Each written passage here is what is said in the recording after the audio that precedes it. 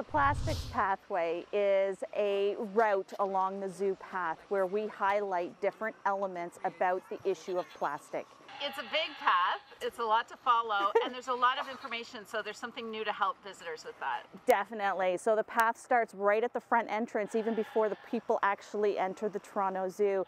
It runs through our core woods, right through to the Tundra Trek and around the Eurasia.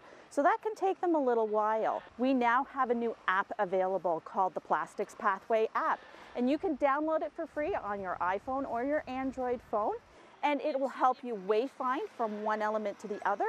It will provide more detail than you can find on our signs. Once you get to an element, you can then source into the industry or on the web new information regarding the issue of plastic.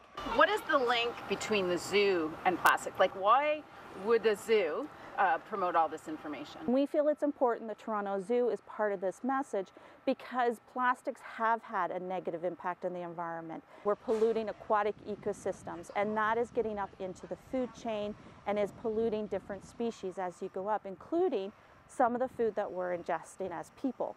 The app is available for download online or by accessing the QR codes along the plastics pathway. At the Toronto Zoo, Audra Brown, CityNews.